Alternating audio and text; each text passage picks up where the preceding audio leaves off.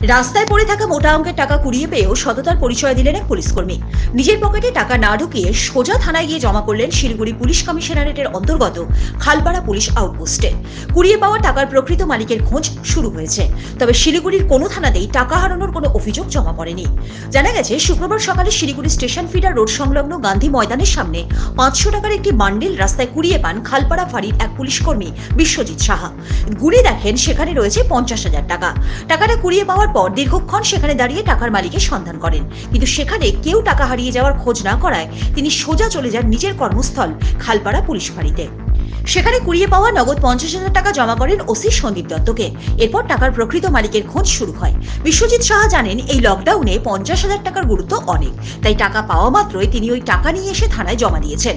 হয়তো কেউ চিকিৎসার জন্য ওই টাকা নিয়ে যাচ্ছিলেন। তিনি চাইছেন টাকার প্রকৃত মালিক যেন খালপাড়া পুলিশ ফাঁড়িতে এসে উপযুক্ত তথ্য প্রমাণ দিয়ে টাকাটা নিয়ে যান। পুলিশ পুলিশকর্মী বিশ্বজিৎ সাহার এই সততাকে কুর্নিশ জানিয়েছেন পুলিশ কর্মী থেকে সকলেই। আমি হচ্ছে ডিমল্যান্ড যে টিভির দোকানটা আছে near HDFC bank S F road. ওখানটায় আমি একটা কাজে যাই। যাওয়ার জন্য তা আমি যখন নামি টোটো থেকে নেমে দেখি ওখানে টাকাটা পড়ে আছে। একটা তারপর আমি টাকাটা উঠিয়ে আশেপাশে দেখলাম সেরকম কেউ এলো না। তারপর আমি এনে আমার খালপাড়ার বড়োবাবু ওনাকে আমি ব্যাপারটা জানালাম। উনি তারপর সাহেবদেরকে জানালেন।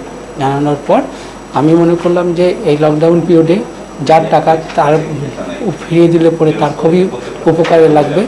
এবং একশো টাকা হারালে পরে মানুষের যা পরিস্থিতি হয় সেখানে একটা পঞ্চাশ হাজার টাকার মতো অ্যামাউন্ট সেটা যাতে সেই লোকটি যাতে পেয়ে যায় তার ফ্যামিলির উপকৃত হবে এবং তিনিও উপকৃত থাকবেন।